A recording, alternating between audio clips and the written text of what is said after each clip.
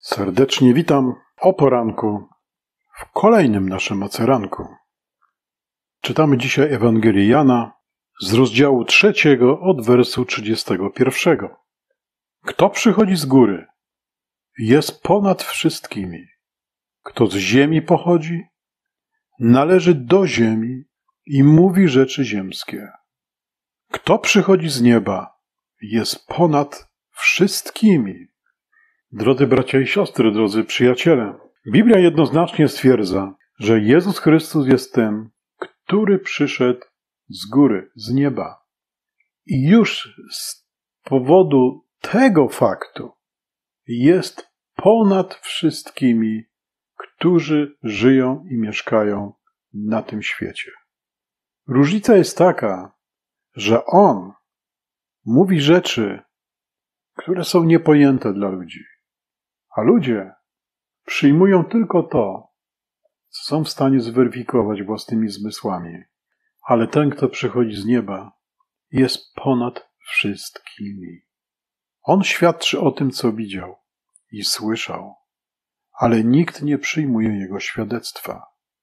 To jest największy problem, tak naprawdę, ponieważ Jezus mówi o tym, co usłyszał od Ojca przekazuje Jego słowo.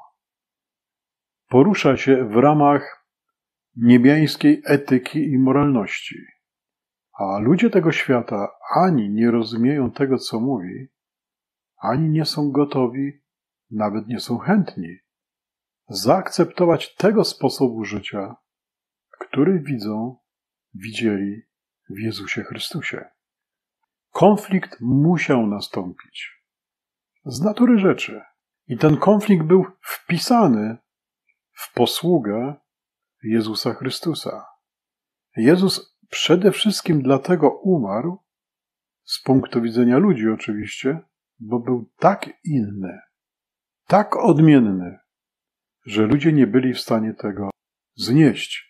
Setki lat przed przyjściem Jezusa Chrystusa na ten świat grecki filozof Sokrates napisał rzecz następującą.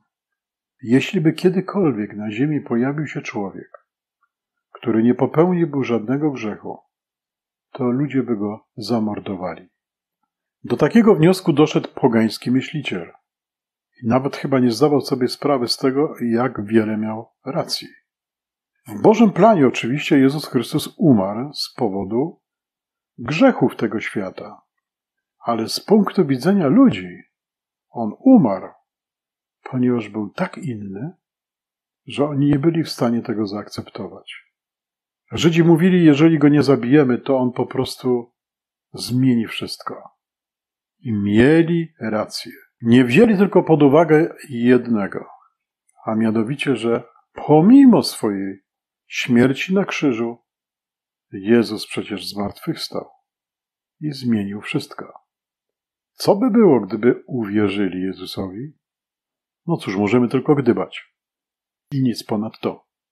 Dalej czytamy, kto przyjął jego świadectwo, ten potwierdził, że Bóg mówi prawdę. Należałoby tutaj dosłownie przetłumaczyć, że ten, kto przyjął jego świadectwo, ten przybył pieczęć jako potwierdzenie, że Bóg mówi prawdę.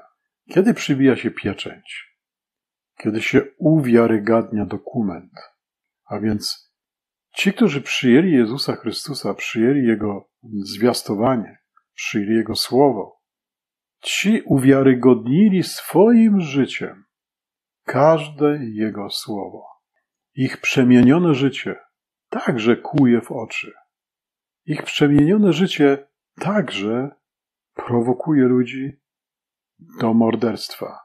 Iluż to świętych zginęło z rąk ludzi religijnych, ludzi, którzy nie mogli znieść tego sposobu życia, którego nie rozumieli, a który ich tak niesamowicie oskarżał, ponieważ oni nie grzeszyli. Jak człowiek może nie grzeszyć? Nie może taki człowiek istnieć. Nie może taki człowiek żyć. Tak mówią również ludzie, którzy są zaangażowani w religię. I ci sami ludzie kiedy tylko mogli, mordowali świętych, nie mogąc znieść ich uczciwości, ich dobroci i miłości, nie mogąc znieść tego, że nie popełniają tego zła, które wcześniej popełniali, a w którym to praktykowanym złu bardzo wielu pomagało im, którzy teraz ich nienawidzili. Moc świętości jest nieprawdopodobna. Nie trzeba nic mówić. Wystarczy tak żyć. Albowiem ten, czytamy dalej, którego posłał Bóg, głosi słowa Boże. Jezus głosił Słowo Boże. To jest ważne. Jeśli głosił Słowo Boże, to posłuchajcie dalej. Bóg udziela ducha bez miary. Bóg udziela ducha swojego po to, żebyś słyszał Słowo Boże. Bo tylko Słowo Boże może cię uratować i może zmienić Twoje życie. Nie 90% Słowa Bożego i 10% ludzkiego. Nie 99% Słowa Bożego i 1% Słowa ludzkiego. Tylko Słowo Boże ma moc. Tylko Słowo Boże daje życie. Tylko ktoś, kto słucha Słowa Bożego, może je rozumieć za pomocą Ducha Świętego, który mu jest udzielony. Dlatego jeśli jakikolwiek kaznodzieja podważa Słowo Boże, należy go kijami pogonić za kazalnicy, wyszarpać go za kołnierz, wywalić za drzwi i zabronić mu przychodzenia na nabożeństwa. Bo to jest sługa diabła, to jest człowiek, który chce wam zablokować wejście do zbawienia. I on to często robi świadomie, bo on wie, co robi. Czyli, że wie, że głosi nie tylko Słowo Boże. Dlatego nie powinna stawać nasza noga nigdzie, w żadnym zborze, w którym nie głosi się czystego Słowa Bożego. Jeśli gdzieś słyszymy komunizm, feminizm, jeśli gdzieś doświadczamy psychologicznych manipulacji, walnąć drzwiami i uciekać stamtąd, bo to jest miejsce śmierci, miejsce sądu, ale to nie jest miejsce, w którym Duch Święty swobodnie przechadza się pośród ludzi. Ojciec miłuje syna i wszystko oddał w jego ręce. Nie ma Ewangelii plus. Jest tylko Jezus Chrystus i Jego Słowo. I nic ponad to. Nic ponad to. Biblia powiada, że Ojciec wszystko oddał w ręce Syna. Stare przymierze obowiązywało tylko do chwili przyjścia Syna. Kiedy przyszedł Syn, wszystko zostało przekazane w ręce Syna Jezusa Chrystusa. Ktoś, kto nie słucha Syna, jak dalej czytamy, nie wierzy mu, nie ma życia, ale spoczywa na nim Boży gniew. Nawet jak ci się wydaje, że przestrzegasz Starego Przymierza, przestrzegasz prawa i walczysz ze wszystkimi, żeby to prawo przestrzegali, to ciąży na tobie śmierć, ponieważ nie słuchasz Syna, nie słuchasz Jezusa. Wszystko zostało przekazane w ręce Jezusa.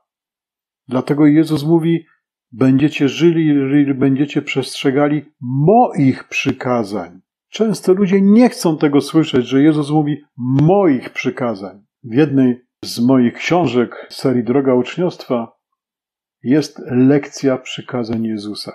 Ja je wtedy starałem się policzyć. Nie pamiętam dokładnie, ale chyba 37 ich umieściłem.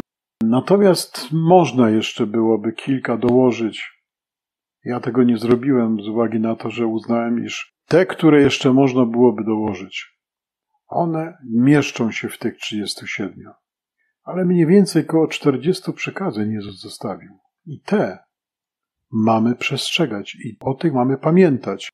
Bo kto nie słucha syna, to na nim ciąży Boży gniew, ponieważ nie ma w tym człowieku życia, bo życie jest przez słowo, które głosił Jezus.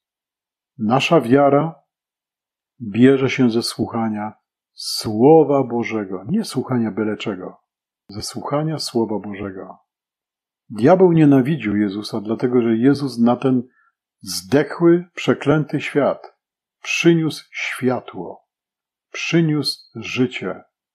Tam, gdzie panowała śmierć, pojawiło się życie. Tam, gdzie panowała ciemność, pojawiło się światło. Dlatego diabeł nienawidził Jezusa i starał się go ze wszelkich sił zabić. Nienawiść zaślepiła go, bo gdyby trochę pomyślał. No ale cóż, widzimy po ludziach tak zwanych wierzących, jak często zaślepia ich nienawiść i widzimy, jakie są tego skutki. Co się później dzieje? Jeśli nie masz syna, nie masz życia. Nie słuchasz syna, jesteś śmierci. Jesteś przeklęty. Idziesz na śmierć. Dlatego, jeśli Biblia mówi, On, który przyszedł z nieba, jest ponad wszystkimi, słuchajmy Go. Słuchajmy Go. Uniżmy się przed Nim, bo On mówi o czymś, o czym my nawet nigdy nie pomyślelibyśmy. Rzeczywistość tego świata przeklętego, pełnego grzechu, nijak się ma do rzeczywistości nieba, która przyszła razem z Jezusem Chrystusem. Kochani, niech nas Bóg błogosławi. Amen. Droga uczniostwa, lajkujcie, subskrybujcie, komentujcie, niech się rozchodzi.